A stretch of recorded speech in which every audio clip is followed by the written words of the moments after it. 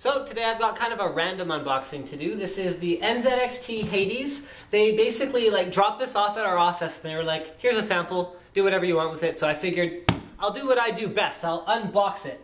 So this com computer case includes dual 200 millimeter intake fans, dual fan control, triple temperature display, wire management, and a black interior. I love black interiors. Now, I know nothing about this case. I have done zero research, so I am going to be discovering everything about it as we go along. So if I say anything wrong, please forgive me, make a comment in the comments and say I don't know what I'm talking about or something, because the reality of it is, I do not.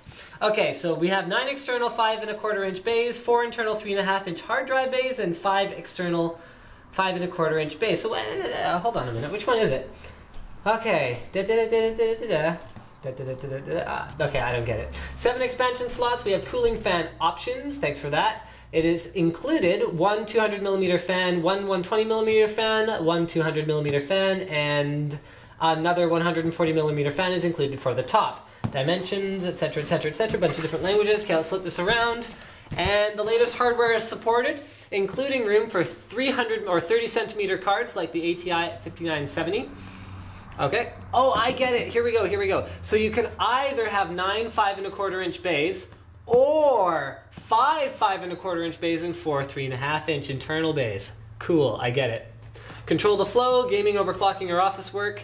The dual 8 watt per channel fan control allows control over the dual 200 millimeter fans that spin up to 150 C CFM each. Monitor your system, etc., etc., etc. Wire routing, pre-drilled water cooling holes on the back plate front mounted. Oh, that's also for office work, by the way.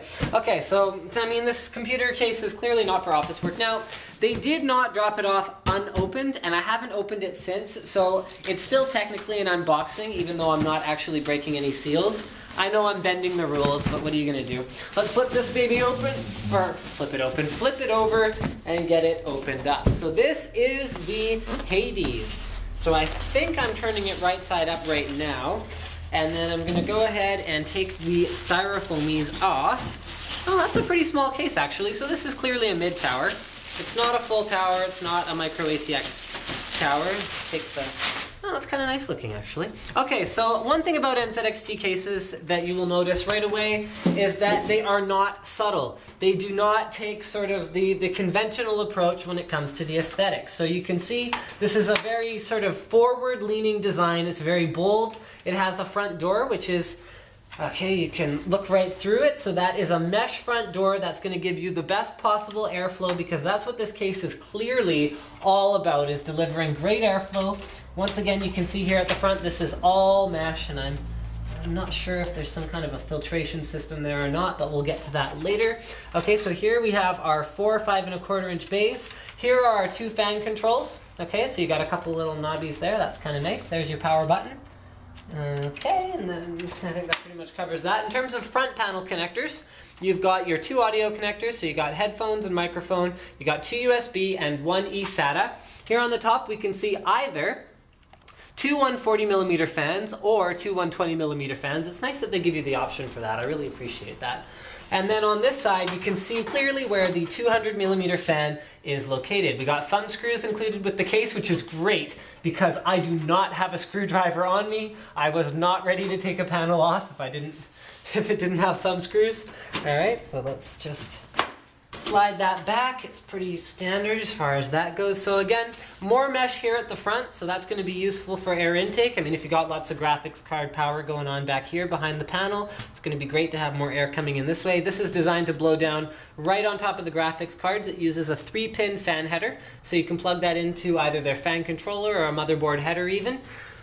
All right, so let's get that panel out of the way.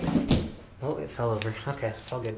Inside, we will find a user's manual, which is black and white. There's nothing particularly exceptional about this, but it does give you some of the basics in terms of the case. It comes in a few different languages. Okay, so it shows you how to how to remove the side panel, shows you how to use some of the wire management features, shows you how to install drives. Okay, inside here, oh, this is kind of neat actually. Okay, well let's take the other panel off so that we can have a better look. And you can see this one also has uh, mesh at the front for more air intake, which is great. The finish on the case is overall pretty good. I mean, it's not uh, it's not the kind of finish that you'd see on something like a Silverstone, but it's a reasonably adequate sort of powder coating finish. You can see there's a little bit of uh, speckliness to it, so that will make it A, durable, and B, very fingerprint resistant, something that a lot of high-end cases actually overlook, and it drives me crazy. Okay, so here we've got the fan, the power connectors for our top 140 millimeter fan, which is included, as well as our rear 120 millimeter fan, and they've given you holes for 92 as well, which is pretty nice.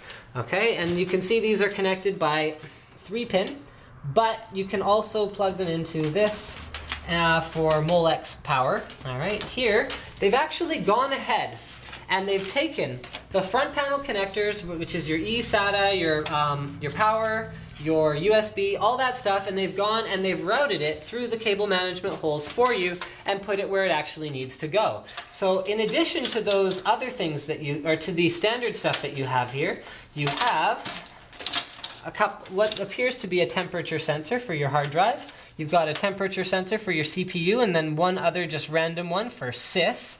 Okay, you've got a couple more power, oh yeah, these are the power connectors for those fans. You got your front audio, you've got your front USB, you've got your front eSATA. Okay, here you will find all of the accessories that you will need to mount a system in the Hades case. All right, so let's see what they've gone and included with this. Oh, I don't have my knife. Great. That's okay, I'll just break it. Ah, okay, I can't even break tape. That's pretty sad. Okay. Oh wow, lots of hardware here. Okay, so these are drive bay adapters. Thank you for that. It includes three of those. Excellent. And I believe they've got one mounted already. So they've shown you how to do it just like that. You've got a whole bunch of thumb screws for mounting those things. There you go. There's a bucket of thumb screws as well as some hard drive screws.